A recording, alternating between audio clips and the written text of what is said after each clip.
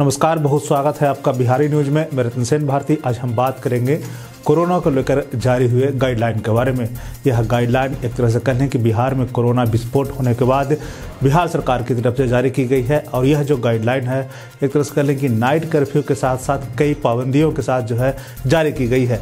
आइए आगे हम इस वीडियो में जानेंगे किन किन पाबंदियों के साथ जो है बिहार सरकार ने यह गाइडलाइन जारी की है। सबसे पहले बात करेंगे सरकारी कार्यालयों की। सरकारी कार्यालयों को लेकर जो गाइडलाइन जारी की गई है, उसमें कहा गया है कि सभी सरकारी कार्यालय एवं गैर सरकारी कार्यालय 50 प्रतिशत उपस्थिति के साथ खुलेंगे। सरकारी कार्यालयों में आगंतुकों के प्रवेश को जो है वर्जित किया गया है। इसके साथ अपवाद भी लिखा गया है। अपवाद में लिखा गया है कि आवश्यक सेवाओं तथा जिला प्रशासन, पुलिस, होमगार्ड, कारा सिविल डिफेंस, विद्युत आपूर्ति जलापूर्ति स्वच्छता, फायर ब्रिगेड, स्वास्थ्य, पशुपालन, कोषागार एवं दूरसंचार, डाक विभाग संबंधित कार्यालय जो है, वह सुचारू रूप से जारी रहेंगे।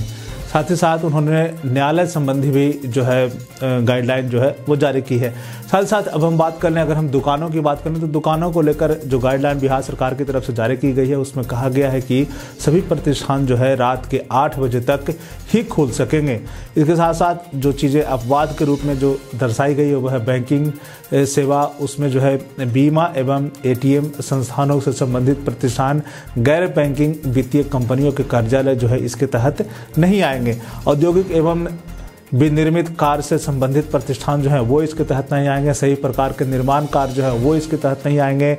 ई कॉमर्स से जुड़ी हुई सारी गतिविधियाँ जो है, वो इसके तहत नहीं आएँगी। तो ये सब चीज़ों को जो है, रात्रि आठ बजे के बाद भी जो है आप कर सकते हैं। जैसे कि कृषि एवं उससे जुड़े कार्य ये भी कर सकते हैं। प्रिंट एवं इलेक्ट्रॉनिक मीडिया के लोगों को भी जो है इस दायरे से बाहर रखा गया है। टेलीकम्युनिकेशन, इंटरनेट सेवाएँ, ब्रॉडबैंड एवं अन्य सेवाओं से संबंधित गतिविधियाँ जो है, इसको भी आठ बजे की सेवा से जो है मुक्त किया गया है। पेट्रोल एवं एलपीजी पेट्रोलियम सहित संबंधित खुदरा एवं भंडारण प्रतिष्ठान को भी जो है इसके तहत से बाहर किया गया है। कोल्ड स्टोरेज एवं वेयर हाउसिंग से सेवाएँ जो जुड़ी हुई हैं, उसको भी बारी रखा गया है। वहीं अगर निजी सुरक्षा की बात कर लें तो इसको भी जो है इस दायरे से बाहर रखा गया है। अगर हम और भी अगर हम बात कर लें प्रतिष्ठित दुकानों के संचालन एवं निम्नलिखित शर्तों के साथ जो है उसे शुरू करने की बात कही गई। कहा गया कि अगर आप दुकानें खोल रहे हैं तो उसके साथ कुछ शर्तें होंगी। उसमें कहा गया कि दुकानदारों को या फिर प्रतिष्ठान जो है, सभी के लिए होने वाले मास्क पहनना अनिवार्य होगा। जो भी उस दुकान में होंगे, उन्हें मास्क पहनना होगा।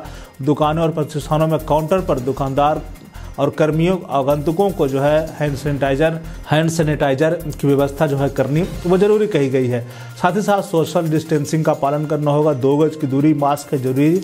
इस नियम का तो फॉलो करना ही करना होगा। साथ साथ ये भी कहा गया है कि उपयुक्त शर्तों का पालन अगर नहीं करते हैं तो जिला प्रशासन जो है अपने हिसाब से कार्रवाई कर सकती है। अब बात करते हैं शिक्षण संस्थान की। शिक्षण संस्थान की अगर हम बात करें तो इसमें प्री स्कूल से आठवीं तक के लिए विद्यालय और कोचिंग संस्थान जो है बंद रहेंगे, परंतु ऑनलाइन शिक्षण संस्थान जारी रहेंगे, नौवीं तथा उच्चतर कक्षाओं से संबंधित विद्यालय, कोचिंग एवं शिक्षण संस्थान 50 प्रतिशत उपस्थिति के साथ खुल सकेंगे। ऑनलाइन शिक्षण जो है वह जारी रहेगी। अब हम आगे बात कर लेते हैं। सभी धार्मिक स्थल श्रद्धालुओं और आमजनों के लिए बंद रहेंगे। सभी cinema hall, shopping mall, club, swimming pool, stadium, gym, park एवं उद्यान पूरी तरह से बंद रहेंगे। अब बात कर लेते हैं खाने पीने की तो इसमें रेस्टोरेंट में खाने के दुकानों और संचालन आगंतुकों के बैठने की कुल क्षमता के अधिकतम 50 प्रतिशत उपयोग के साथ अनुमान होगा। संबंधित प्रतिष्ठान व सुनिश्चित करने के लिए सभी कर्मी कोविड के दोनों टीके लगा चुके होंगे। ये मानक जो है वो रखा गया है। अब हम बात कर लेते हैं आगे शादी विवाह से जुड़ी हुई क्या अपडेट है इस गाइडलाइन के तहत इसमें कहा गया है कि विवाह समारोह अधिकतम 50 व्यक्तियों की उपस्थिति के साथ आयोजित की जा सकते हैं, किंतु इसमें डीजे एवं बारात जुलूस की इजाज़त नहीं होगी। विवाह की पूर्व सूचना स्थानीय थाने में कम से कम तीन दिन पहले देनी होगी। वहीं अगर हम श्राद्ध कार्यक्रम की बात कर लें तो इसमें पचास व्यक्ति जो है अधिकतम सीमा तक हो सकते हैं। अब हम बात कर लेते हैं परिवहन की।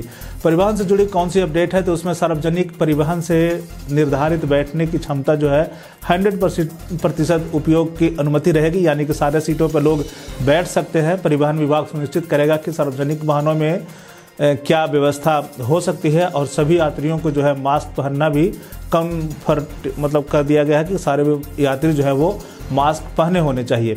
निजी वाहनों के साथ साथ सार्वजनिक वाहनों के मार्गों में पैदल चलने वाले लोगों को जो है मास्क पहनना अनिवार्य कर दिया गया है। अगर हम आगे की बात कर लें तो इसमें कहा गया है कि सभी प्रकार के सार्वजनिक एवं निजी प्रकार के सामाजिक, राजनीतिक, मनोरंजन, खेलकूद, शैक्षणिक, सांस्कृतिक एवं धार्मिक आयोजन 50 प्रतिशत क्षमता एवं अधिकतम 50 व्यक्तियों की अधिसीमा, जो कि कम से कम हो, तथा कोविड अनुकूल व्यवहार के अद्यतन मानक संचालन प्रक्रिया के निर्बाध निर्धारित अनुपालन के साथ साथ आयोजित की जा सकती है। आयोजन के लिए जिला प्रशासन जो है आपको पहले से अनुमति लेनी होगी। अब हम बात कर लेते हैं नाइट कर्फ्यू को लेकर। क्या क्या बातें जो है वो कही गई है। तो राज्य में रात्रि 10 बजे से प्रातः के 5 बजे तक नाइट कर्फ्यू लागू होगा। उक्त अवधि के निम्न अनुमान रहेंगे। स्वास्थ्य विभाग से जुड़ी गतिविधियों के संलग्न वाहन एवं स्वास्थ्य परियोजनार्थ प्रयुक्त निजी वाहन जो है, इसके तहत नहीं आएँगे। अनुमान कार्यों से संबंधित कार्यालय के सरकारी वाहन, वन प्रबंधन से संलग्न वाहन, ये भी जो है, इसके तहत नहीं आएँगे। सही प्रकार के माल वाहकों को जो है, इससे बाहर रखा गया है। वैसे निजी वाहन जिनमें हवाई जहाज़, ट्रेन से यात्री यात्रा कर रहे हों या फिर जिनके पास इसका टिकट हो, वो भी जो है नाइट कर्फ्यू से दूर रहेंगे। कर्तव्य पर जाने हेतु सरकारी सेवाओं एवं अन्य आवश्यक अनुमान यात्रियों के निजी वाहन जो है, वो भी जो है नाइट कर्फ्यू के तहत उन्हें रखा गया है, यानी कि उससे दूर रखा गया है। अंतर्राज्यीय मार्गों एवं अन्य राज्यों से आने वाले निजी वाहन जो है, उसको भी इस कैटेगरी से दूर रखा गया है। सभी प्रकार के मेले एवं प्रदर्शनियों को इस आयोजन पर भी जो है, प्रतिबंध लगा दिया गया है। साथ ही साथ कहा गया है कि जिला प्रशासन भीड़ भाड़ वाले स्थानों तथा सब्ज़ी मंडी, बाज़ार आदि तथा सार्वजनिक वाहनों में सोशल डिस्टेंसिंग और मास्क पहनने संबंधित कोविड अनुकूल व्यवहार एवं अद्यतन मानक संचालन प्रक्रिया के तहत अनुपालन कराना सुनिश्चित करेगा। तो एक तरह से जिला प्रशासन को ये दी गई है हिदायत कि आप जो है मास्क कैसे पहनवाएँ और दो गज की दूरी मास्क है ज़रूरी, इन सारे नियमों का आप जो है पालन करवाते रहें। साथ ही साथ अगर हम बात करें, जिला प्रशासन को ये भी अधिकार दिया गया है कि आप पे जो है वो दंडात्मक कार्रवाई भी कर सकते हैं। तो इसके लिए अगर हम बात कर लें तो इसके तहत आपदा प्रबंधन के अधिनियम 2005 की धारा इक्यावन से 60 और भारतीय दंड संहिता की धारा एक सौ अट्ठासी के प्रावधानों के अंतर्गत वो जो है दंडात्मक कार्रवाई कर सकते हैं। बिहार सरकार की तरफ़ से जारी गाइडलाइन में एक तरह से कह लें कि नाइट कर्फ्यू के साथ साथ कई चीज़ों में जो है बंदिशें जारी कर दी गई है। साथ ही साथ जिला प्रशासन को यह अधिकार भी दिया गया है कि अगर आप गाइडलाइन का पालन नहीं करते हैं तो आप पर दंडात्मक कार्रवाई हो सकती है। बिहार और बिहार से जुड़ी और भी ऐसे खबरों के लिए बने रहें बिहारी न्यूज़ के साथ। मुझे दीजिए इजाज़त। धन्यवाद।